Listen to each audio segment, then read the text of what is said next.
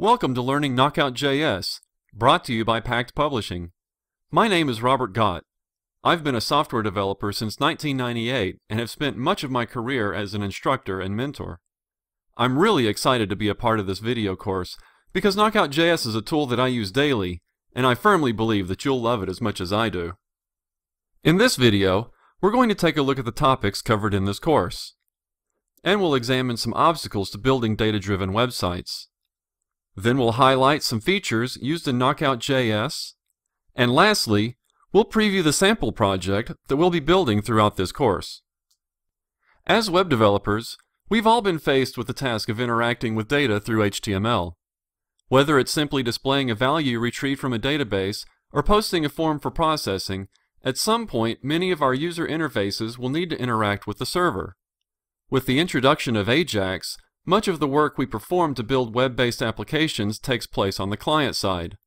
Once our applications become non-trivial, though, we often experience a lot of bloated and unmanageable code intermingled in our HTML.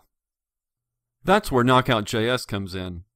Knockout.js, or just Knockout, is a client-side data binding library that greatly simplifies the task of building data-aware web user interfaces.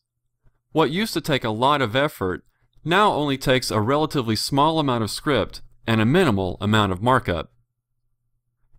By using simple attributes in your HTML, you can establish a connection between UI elements and your JavaScript business objects. The connection isn't just one way either. Once you have an association between a UI element and your business object, changes you make to the business objects are reflected in the UI, and changes in the UI are propagated to the underlying business objects. This two-way data binding is where Knockout.js really shines. To help demonstrate the many great features of Knockout.js, we're going to build a media library application throughout this course. If you're like me, you probably have a lot of friends who borrow your books and movies. Most of the time my things are returned, but there's an untold number of items I'll probably never see again. My problem is that I forget who borrowed my things, so I never remember to ask for them to be returned. So what we're going to do throughout this video course is build a media tracking application so that we can keep an inventory of our media assets and record who may have borrowed them. We'll build data entry screens for our catalog of media assets as well as a screen to manage our contacts. Then we'll build a dashboard that will allow us to see what we have in the inventory, what's been borrowed and by whom, and when our items are supposed to be returned. Along the way, we'll explore the architectural challenges of building such an application and how the design patterns encouraged by Knockout can help us. In the first section of this course, we're going to explore the two software design patterns on which Knockout.js is built, the Model View View Model pattern, or MVVM, and the Observer pattern. We'll also cover the JavaScript module pattern, as this will be used throughout this course. In the second section, We'll begin building our sample project and introduce you to one-way data binding, where you will use Knockout to display data on the page.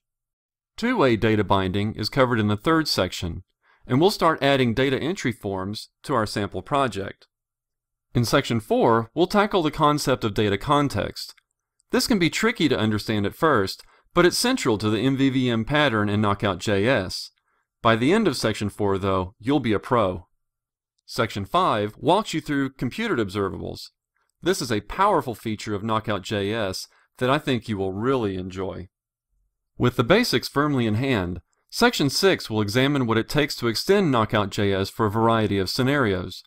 We'll create custom functions, extenders, and custom bindings that will really make your application shine. To end this course, we will spend Section 7 looking at some of the advanced things that you can do with Knockout.js. This section is to let you know what's possible and how to take what you've learned to the next level.